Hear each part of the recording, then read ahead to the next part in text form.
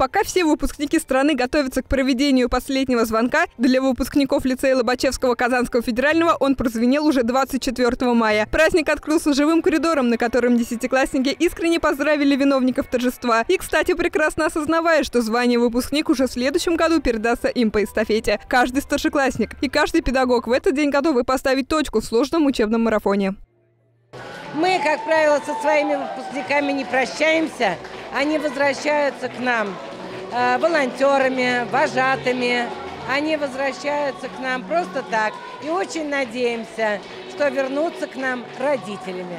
На торжественном мероприятии выпускников поздравили представители Казанского федерального университета. Они выразили искренние пожелания будущим студентам в предстоящих экзаменах, благодарность учителям и, конечно, родителям.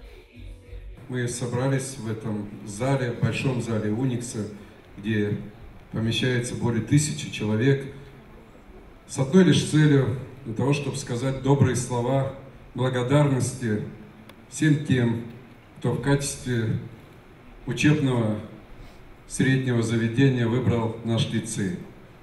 Даю себе отчет, что в Казани много хороших, наверное, школ, лицеев, специализированных, но в то же время я четко знаю, что наш лицей имени Лобачевского является одним из лучших лицеев не только нашего города, но и нашей страны в целом.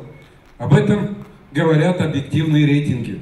Только лишь закончив школу, каждый выпускник встретится с задачей, способной решить многое в его жизни, а именно стать абитуриентом. К слову, многие видят себя в ряду студентов Казанского университета, а пока что, по признанию самих выпускников лицея, им очень тяжело прощаться с детством. Это пять лет моей жизни, и заканчивать их вообще неохота. Охота продолжать и продолжать учиться здесь, жить, проживать новые счастливые моменты.